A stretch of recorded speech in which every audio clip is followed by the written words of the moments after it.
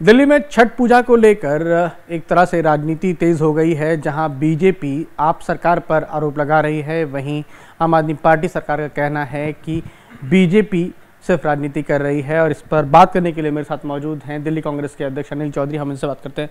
Sir, Delhi में छठ पूजा जो है वो घाटों पे की जाती थी। डीडीएमए की गाइडलाइंस है कि नहीं हो सकती, नहीं कराया जा सकती।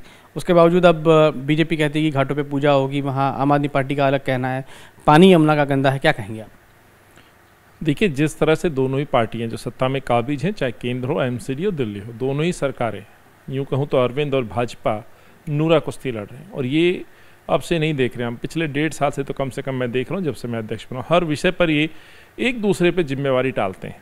अब ये लेटेस्ट एक उदाहरण है छठ पूजा का। हालाँकि छठ पूजा को आयोजन को लेकर के कांग्रेस पार्टी मांग करती है हम लोगों ने प्रोटेस्ट भी किया, एलजी साहब से भी दरखास्त की। सवाल ये उठता है डीडीएमए की गाइडलाइंस का बहाना बनाया जा रहा है। जब डीडीएमए के आप मेंबर हैं, दिल्ली के मुख्यमंत्री हैं लेफ्टिनेंट गवर्नर साहब हैं, एक आदेश आता है कि भाई इस बार छठ नहीं मनाने देंगे। आप उस समय वहाँ मौजूद होते हैं, आप ऑब्जेक्शन दर्ज नहीं करते हैं, फिर आप कहते हैं कि छठ मननी चाहिए। मैं पूरे तौर पर विश्वास के साथ कहना चाहता हूँ कि अरविंद की मंशा नहीं है कि दिल्ली के अंदर छठ मनाई जाए, ना भाजपा की। और ये निरंतर जो पूर्वांचल वासी हैं, जो प्रवासी लोग हैं, इनके खिलाफ यदि अरविंद के फैसलों को देखेंगे, कोविड काल में भी जिस तरह से भगवान भरोसे इन्होंने छोड़ दिया था, एक जीता जागता उदाहरण है कि प्रवासियों के साथ वादा खिलाफी कहिए या सरकार का जो विरोधी स्वरूप है, वो उजागर होता है। अन्यथा ऐसा नहीं होता कि प्रवासी अपने घर जाना चाहते थे, दोनों सरकारों ने हाथ खड़े कर दिए, भगवान भरोसे छोड़ दिया। अब तो छठ का, छठी मैया का मामला है, भगवान का मामला है, सूर्यदेव का मामला है, इसमें भी राजनीति की जा रही है।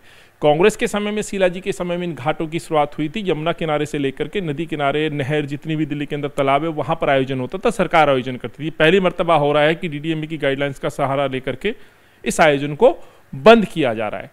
यमुना की जो स्थिति है यमुना को लेकर के जिस तरह बड़े बड़े दावे किए गए थे, भाजपा के मोदी सरकार ने नदियों को लेकर के एक अभियान छेड़ा गया था, लोगों को उम्मीद दी गई थी, वैसे ही अरविंद भी हर साल यमुना किनारे आरती का आयोजन करते थे। आप देखिए, यमुना अपनी दुर्दशा पर रो रही है। काले दिन को से लेकर के आप पूरे यमुना के दौरे को देखेंगे जो किनारा है दिल्ली का, पूरी तरह से दूषित है। और आज यमुना की इस स्थिति पे दुख होता है, जहाँ बड़ी बड़ी बातें की गई, स्टीमर चलाने की बातें की गई केजरीवाल द्वारा आरती और पर्यटन को बढ़ावा देने की बात की गई। कितना बदलाव आया? सात साल हो चुके हैं अरविंद को। जिम्मेदार है सर इसके लिए? यमुना की जो हालत इस समय जिस तरह से पानी है जिस तरह से झाग है कौन जिम्मेदार है? किसकी ज़िम्मेदारी थी पानी साहब स्वाभाविक सी बात है सरकार जिम्मेवार है। कोई यमुना एक्शन प्लान जो बनना चाहिए था जिस पर अमल होना चाहिए था उस पर नहीं होता। हर साल आखिर पॉल्यूशन लास्ट क्षणों में ही क्यों विषय बनता है? क्यों सरकारें तभी जागती हैं? क्यों साल भर काम नहीं करते हैं? सात साल हो गए अरविंद को। अरविंद ने ही सपना दिखाया था। जैसे दिल्ली को एक विश्व स्तरीय शहर बनाने की बात कही गई थी, वैसे ही यमुना को भी एक स्वच्छ यमुना बनाने की बात कही गई थी। अरविंद केजरीवाल बताएँ, कितनी स्वच्छ हो पाई दिल्ली? कितनी स्वच्छ हो पाई दिल्ली के जो पोर्शन है यमुना का, कितना स्वच्छ हो पाया? देश के प्रधानमंत्री बनाए, बताएँ यमुनाओं को लेकर के, नदियों को लेकर के उन्होंने एक एक्शन प्लान तैयार किया था, कितनी नदियाँ साफ़ हो पाई, उसमें दिल्ली का जो पार्ट है यमुना का, वो कितना साफ़ हो पाया? ये मैं समझता हूँ, ये ज़िम्मेदारी सरकारों की उस पर जवाब देना चाहिए। अब प्रश्न पूछने का अधिकार अरविंद को नहीं है। अब अरविंद को जवाब देना होगा कि सात साल में आखिर करा क्या।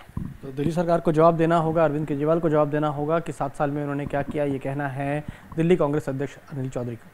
कैमरामैन दीप के साथ Prafull Shrivastava ABP news Delhi.